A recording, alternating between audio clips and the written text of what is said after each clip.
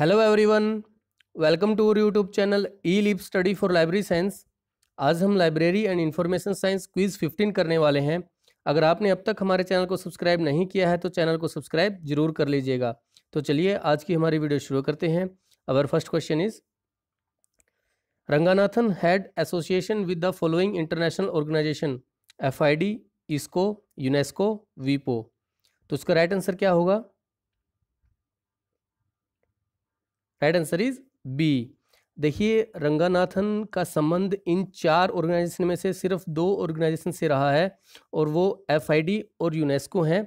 और doctor S R Ranganathan का full name क्या था? सियाली रामामृता Ranganathan.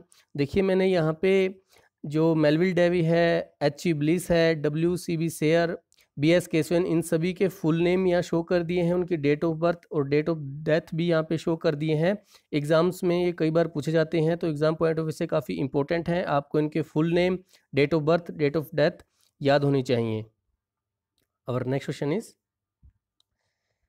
which one among of the following is not an element of the marketing mix? तो उसका right answer क्या होगा? Right answer is C, product mix देखिए मार्केटिंग मिक्स के जो फोर पिलर हैं प्रोडक्ट प्राइस प्लेस प्रमोशन उन सभी की जो डिटेल फ़ंक्शन है, वो मैंने यहाँ पे शो कर दिए हैं। और कई बार एग्ज़ाम्स में फोर पी की जगह पे फोर सी भी पूछा जाता है। तो प्रोडक्ट किसके लिए यूज़ होता है? Customer need and wants price cost to the customer place convenience and promotion communication तो आपको फोर पी और फोर सी के फ़ंक्शंस दोनों के याद होने चाहिए। Our next question is, the acronym ISNI stand for, very important question. तो इसका राइट आंसर क्या होगा? Right answer is D international standard name identifier और जो ये स्टैंडर्ड है, ये किसके लिए यूज़ होता है? कौन इसको यूज़ करता है? पब्लिशर्स इसको यूज़ करते हैं, लाइब्रेरी में इसको यूज़ किया जाता है, डाटाबेस क्रिएट करने के लिए इसको यूज़ किया जाता है और इसमें टोटल कितने डिजिट होते हैं? सिक्सटीन डिजिट होते हैं और उसका एग्ज़ाम्पल भी मैंने यहाँ पे शो कर दिया है।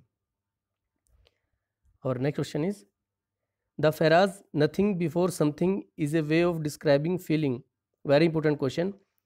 तो इसका राइट आंसर क्या होगा?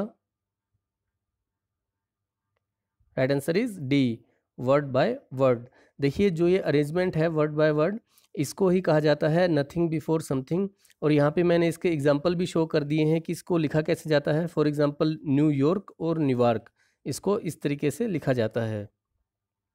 और next question is Infolit global is an international information literacy initiative of तो इसका राइट आंसर क्या होगा? Right answer is C UNESCO and IFLA Our next question is According to AACR2 revised edition, the cataloger has to make an added entry under the title proper of every item entered under a corporate heading, a personal heading, a parallel title and a uniform title. तो इसका right code क्या होगा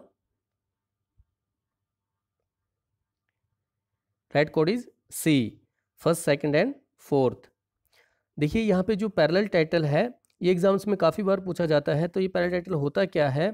जब आपके पास एक title दो या दो से ज़्यादा लैंग्वेज में होता है तो आपको उनमें से एक टाइटल को चूज़ करना होता है तो वो बन जाता है हमारा टाइटल प्रॉपर और जो रिमेनिंग टाइटल रह जाता है, वो बन जाता है पैरल टाइटल और यहाँ पे मैंने कुछ अदर टाइटल इन्फॉर्मेशन भी शो की हैं फॉर एग्जांपल सब टाइटल किसको बोलते हैं अल्टरनेटिव टाइटल किसको बोलते हैं पार टाइटल तो आप फर्दर स्टडी के लिए आप इस पैराग्राफ को भी स्टडी कर सकते हैं।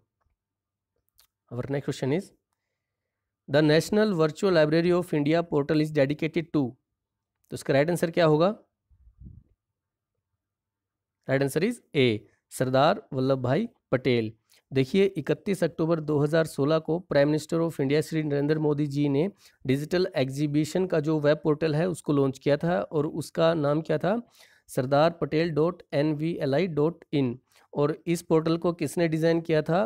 Z Y X ware technology in partnership with IIT Bombay और जो ये national virtual library of India है, एक इसका इनिशिएटिव है मिनिस्ट्री ऑफ़ कल्चर का।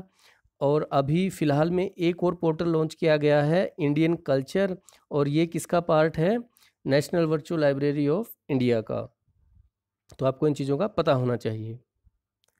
Our next question is, arrange the following in chronological order very important question तो इसका राइट कोड क्या होगा?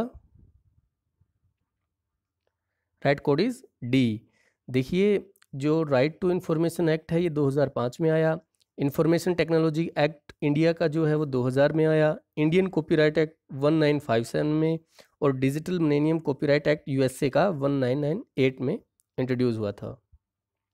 और next question is in India Shodh Gangotri is developed for very important question तो इसका right answer क्या होगा?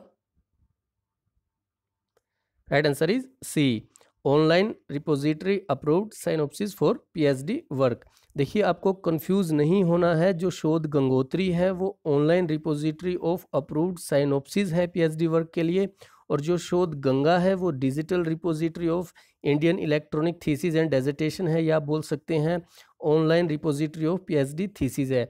तो कंफ्यूज बिल्कुल नहीं होना है, शोध गंगा जो है, वो फुल फ्लैश रिपोजिटरी है, पीएचडी थीसिस की और जो शोध गंगोत्री है, वो अप्रूव्ड साइनोप्सिस की रिपोजिटरी है पीएचडी वर्क की। Our next question is who is the author of the and entitled our enduring value revisited librarianship in an ever changing world? तो इसका राइट आंसर क्या होगा? Right answer is B Michael Gorman thank you अगर आपको हमारी video अच्छी लगे तो वीडियो को लाइक, शेयर, कमेंट ज़रूर कीजिएगा और हमारे चैनल को भी सब्सक्राइब ज़रूर कीजिएगा। Again, thank you so much.